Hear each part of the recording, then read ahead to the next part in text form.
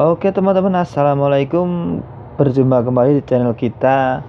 Dan kali ini kita akan membahas atau mengunboxing sebuah power bank plus penghangat tangan dan juga senter. Coba kita buka aja apa isinya di dalamnya. Aduh sobek ini ya. Oh ini ada kantong. Ini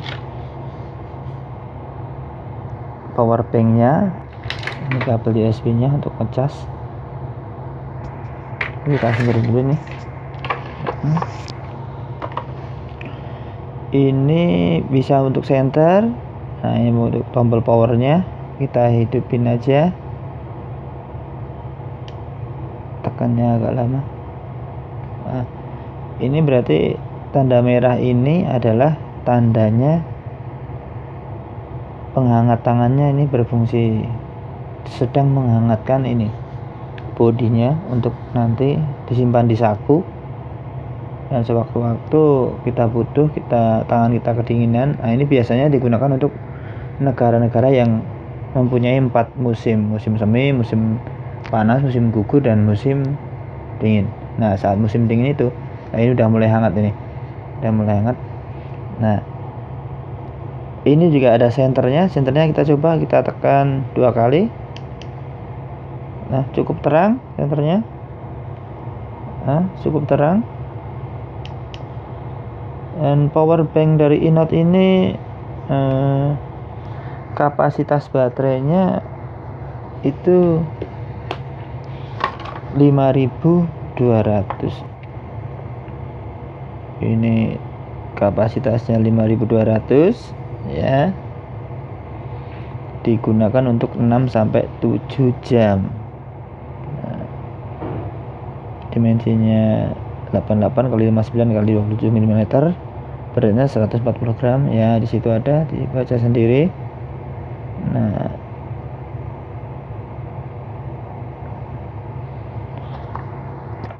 Coba kita cas saja ya. Pakai ini charger smartphone. Nah ini ternyata masuk di lampunya jadi biru sorry. Oh, bayang gini sih fokus ya.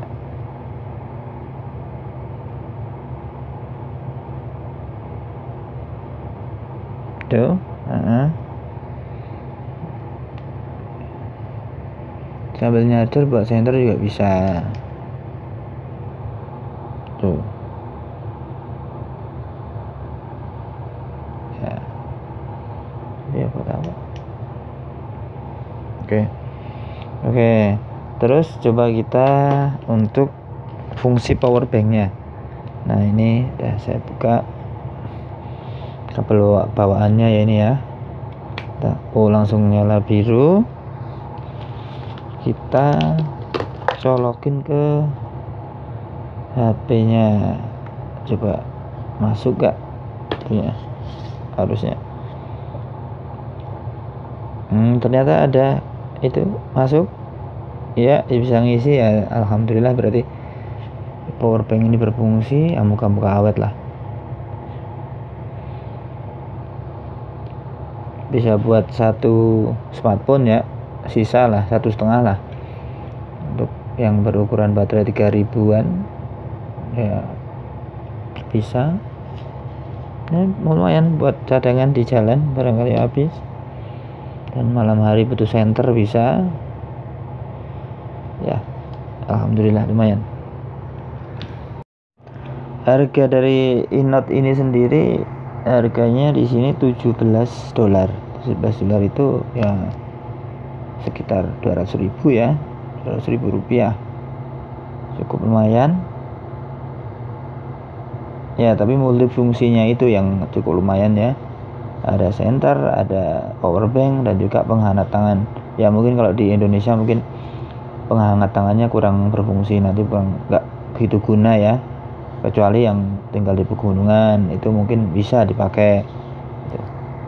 Ya udah gitu aja. Mungkin review dari saya atau unboxing ini. Nah, sekian. Terima kasih. Jangan lupa subscribe share like dan komen. Nah, barangkali yang mau tanya ada yang tanya-tanyain yang yang bisa saya jawab ya saya jawab. Oke assalamualaikum warahmatullahi wabarakatuh. Kita jumpa kembali di review yang akan datang atau di unboxing atau di lain lagi lah. Apa aja nanti kita coba aja. Ada apa lagi? Ikuti aja terus ya channel ini. Oke. okay.